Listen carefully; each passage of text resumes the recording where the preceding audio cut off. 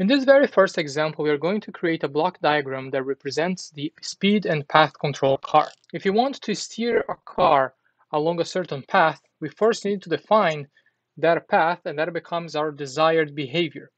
So let's start by defining a desired path that I'm going to call here PD, the desired path. This is our reference signal. This is the signal that we're going to give to the car and this is the ideal trajectory that the car should follow. In order to steer the car along that path, we need to know the current position of the car and then take actions based on the based on how far we are from that desired path. So here we can create a error that or uh, we can create an element that compare the desired path and the current path. So let me call here P the current path of the car. PD is the desired path, so the output of this block here is now the error. So we take the desired path, we compare the desired path with the, with the current path, and this gives us a position error. And this is now the signal that are going to use to control the car. It's not the current path and it's not the desired path, but the difference between them.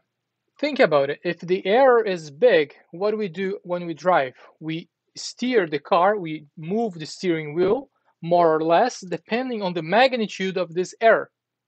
Again, it's not dependent on the desired path nor on the current path, but on the difference between them. So we now take this error and this error is converted into an action. We pass this through the steering wheel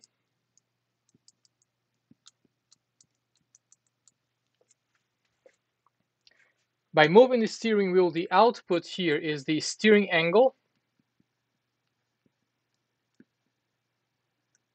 And the steering angle now is what we give to the car in order to minimize this error. So this now goes to the car that I'm going to represent here with a single box. This now go, goes to the car.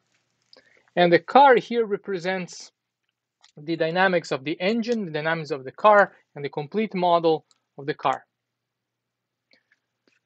So again, based on the error, we change the steering angle more or less and give that to the car. The car now responds to that command that's the output of the car. And we measure now how our desired path is.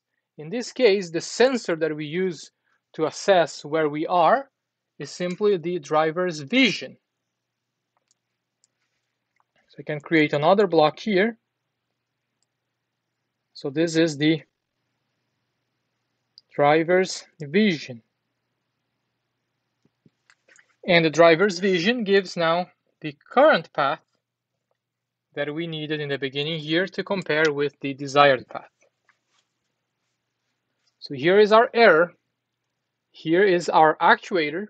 The steering wheel is what ma makes the car respond to the error. And the steering angle is the output of the actuator, that is the steering wheel. Here we have the sensor, the driver's vision, and the output of the sensor is the current path. Now let's complicate this problem a bit more and also add speed control. So following the same strategy, we want now to go along this path, but we also have a desired speed. So let's call V D a desired speed. If you want the car to follow this desired speed, what do we need? Well, here we need the current path. So here we also need now the current speed, the current speed of the car that I'm going to call V. And this creates the error in terms of speed. What do we do now to correct the speed? We use an actuator, and that actuator in this case is the throttle. We now give this error to the throttle,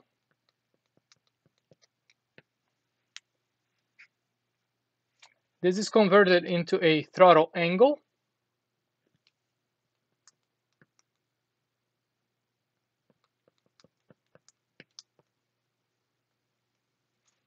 And the throttle angle is now sent to the car.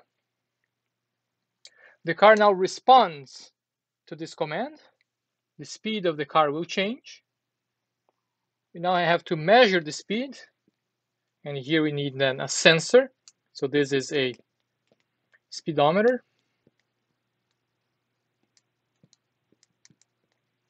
And the speedometer now gives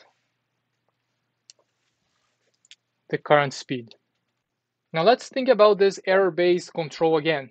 We don't drive based on the desired speed. We drive based on how far we are from the desired speed. From the we ba based on the difference between desired and current speed. We press more or less on the throttle depending on that error, not on the absolute value of any of these two. Now we convert that into a throttle angle, and this is given to the car. So this is now the actuator. This is what makes the car respond to a certain command.